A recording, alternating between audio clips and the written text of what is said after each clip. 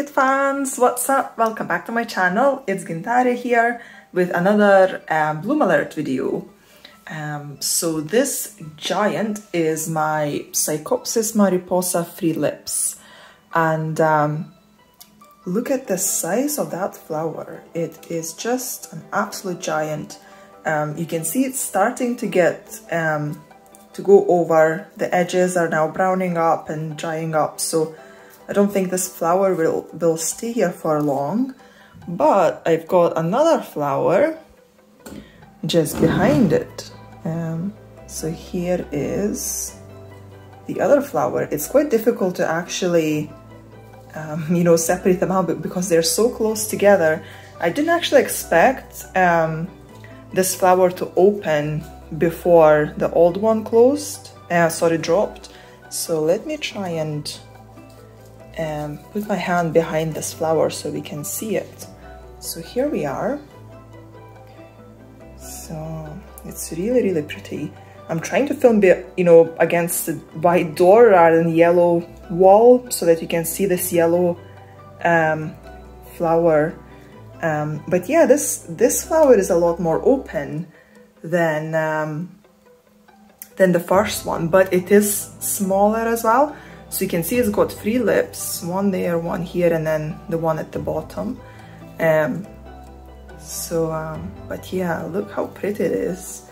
Um, but yeah, the flower that is going over this one there, look, you can already see how much bigger it is, even though it's all kind of closed up. Um, but um, yeah, it was a lot bigger. So, um, so these, um, it took forever for the spike to develop. I got this plant, I think around January time um, of this year, 2021. And um, it had a tiny kind of spike starting at the at the base. So I think it was about maybe that high. And um, it's now end of May. Um, but I had this first flower open for a couple weeks at least, if maybe not even three weeks. And um, as this bud was developing, I could see the bud behind it already growing as well. And um, the second flower developed a lot quicker than the first one, I think. Um, and we can also see that there is a bud right here in the middle. Um, so see that there? So that's another bud now developing again um, but that one is gonna take forever. So, um, but if this if this flower stays open for three four weeks, then it will give that bud a bit of time to develop. And um, it also grew this second spike um, from the new growth. And um, yeah, you can see that I think it's already now developing a bud as well. I thought it might take a bit longer for this one to uh, you know, I thought the spike will grow a lot more before it pushes a bud out because this spike is a lot longer, as you can see. Um, it's a lot longer, but it actually starts from the base of the pseudobulb, whereas this spike starts from the top, from the apex of the leaves. So um, that's why I thought this would actually get taller um, than the first one before it pushes the bud out. Um, but no, looks like it's actually gonna give us flowers sooner.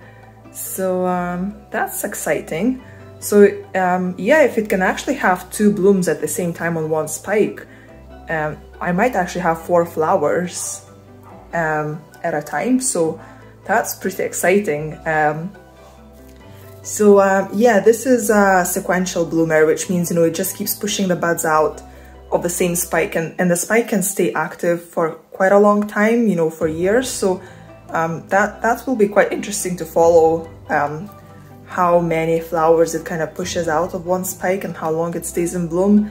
Um, but I mean, these flowers are just stunning. I absolutely love them. And um, the plant itself is, um, it's not that big. It might look bigger on video um, than it actually is but um, it's potted in an 11 centimeter pot so um, you know it's not not big at all and you can see basically half of the pot is pretty much full of roots but there is no growths um, on the surface and um, So this is a new growth that it came with. Let me try and lower, lower you down. And um, there is a new growth on the side, right there, developing. So this new growth, um, it started developing at the same time as, as the spike from that apex of the leaves. And at the beginning, it was quite difficult to see which is which and what they're gonna develop into. But um, yeah, that one is coming up to be a growth. Um, it is still quite small. Even this growth here, it doesn't seem to have, um, you know, matured properly. It is still a fairly small pseudobulb and the leaves are completely kind of closed off. They're not, they're not looking to open up and the leaves are pretty small as well.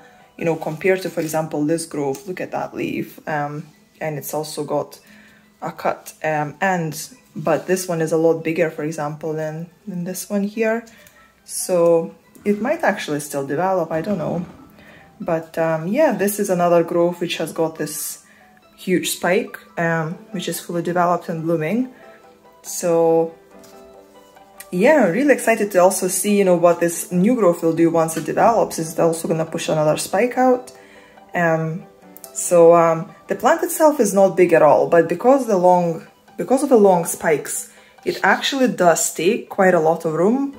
Um, so it's maybe something to bear in mind. I mean, I'm keeping it on quite a low shelf and these, um, these spikes are actually arching into the next shelf above and the blooms are actually showing on the next shelf rather than on the same one. So, um, but that's okay. They seem to have enough room to bloom and um, you know to have their blooms open in there. So so that's great.